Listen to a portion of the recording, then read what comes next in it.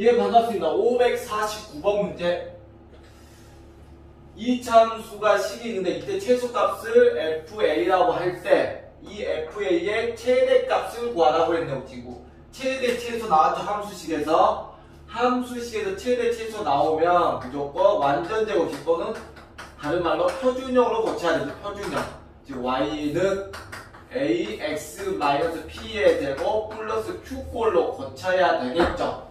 이때 이때 이때 이 a가 양수이면 양수면 아래로 볼록이니까 꼭지점에 꼭지점에 y좌표가 바로 무슨 값? 최소값. 20m으로 할게요. 최소값, 미니멈, 최소값이고 오케이? a가 음수면 중학교 3학년 건데 음, 위로 볼록이어서 꼭지점에 y좌표가 꼭지점에 y좌표가 바로 최 대값 맥시멈 맥시멈 최대값이 되는 거예요.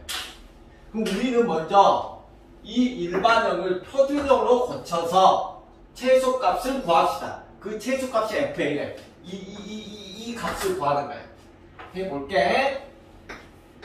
중학교 3학년 문제야. 보자. y는 일반형이 나오면 x제곱 마이너스 4ax 플러스 16a 마이너스 5 a가 양수니까 어, 여기 a하고 다릅니다. x제곱 계속 양수니까 아래로 볼록이야. 그래서 그때 꼭지점에 y좌표가 최소값 그 값을 fa라고 한 거야. 알았지?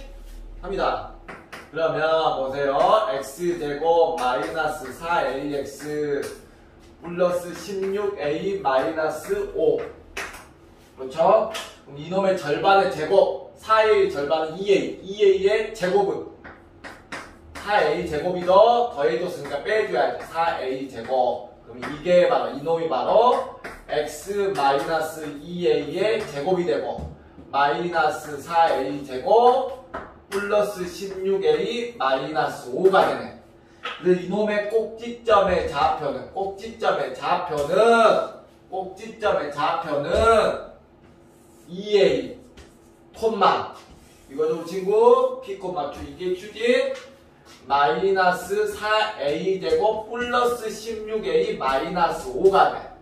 이 꼭지점에 y좌표가 바로 최소값이었지. 이 최소값을 fa라고 했잖아 우리 친구. fa. fa는 마이너스 4a 제곱 플러스 16a 마이너스 5가 돼. 됐니 우리 친구? 그럼 이것도 a에 관한 2차 함수식이 되지. 그렇지 우리 친구. 그때 이러면 최대값을 구하래. 지금 a 2차에서 음수니까 위로 볼록이잖아. 위로 볼록. 위로 볼록이잖아.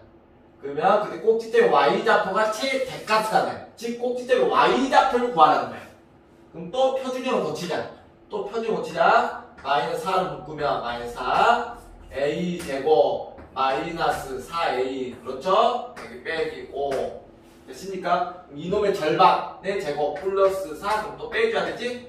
더해줬으면 빼줘야지 똑같아야 되니까 마이너스 4 a 마이너스 2의 제곱 그 다음에 빼기 4죠? 16이지 플러스 16 여기까지가 이거니까 우리 친구 오케이? 그래서 4, 4, 16 나오죠? 빼기 5지 빼기 5 좀 안 보이나? 보이죠? 어, 위로 올릴까? 위로 올릴게. 오케이. 그러면 마이너스 4 a 마이너스 2의 제곱 플러스 11이 되네. 그래서 꼭지점의 좌표는 꼭지점의 좌표는 2,11이 되죠. 그렇죠. 그때 꼭지점 y 좌표 무슨 값? 최 대값. 그래서 답은 11이 되겠네. 됐나요, 우리 친구? 다시 한번, 다시 한번. y는 x제곱 마이너스 4ax 플러스 16a 마이너스 5의 최소값.